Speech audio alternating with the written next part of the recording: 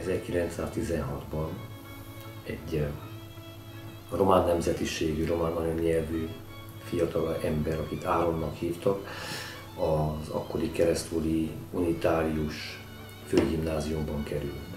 Teljesen más, egy magyar közösségben. Ezért választottuk mi ezt a történetet, mivel a Vadrózsák néptánccsoport ebben az épületben tevékenykedik, a jelenlegi Berde Mózes Unitárius gimnáziumban, és ez a történet itt játszódott. Ez a kamaszfiú egy benlakási verekedésbe keveredik, aminek van természetesen ilyen román-magyar ellentét töltete is. Tudni kell, hogy ebben az évben támadta meg Románia Magyarországot, úgyhogy több az, hogy nem volt nehéz egy ilyen verekedést kiprovokálni. Az incidens után kerül vissza a gimnáziumban egy Szabó Árpád nevezetű fiatalember, aki az olasz frontról érkezett haza, és szerette volna befejezni a tanulmányait. Ez a fiatalember a szárnyai alá veszi Áront, akivel nagyon jó baráti kapcsolatot ápolnak, a szárnyai alá veszi Áront, felkarolja, segít neki megérteni a, és beilleszkedni a Magyar Diákok Társaságával.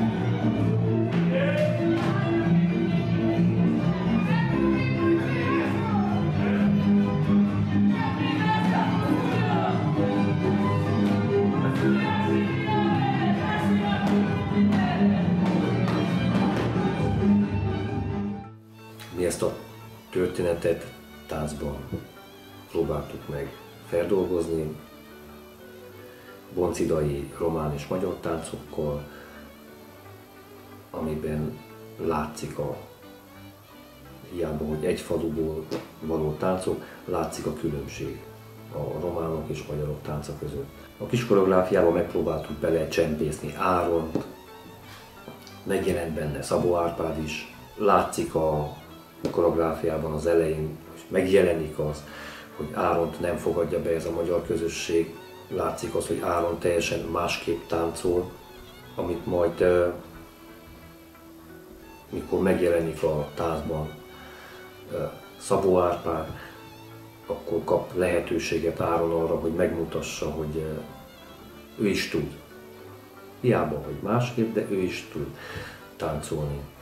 És aztán lassan így ez a feszültség ez feloldódik, és eljutnak addig, hogy közösen tudnak táncolni, tudnak mulatni, tudnak együtt élni. A munka során talán a gyermekek is tanultak ezek, ebből a történetből,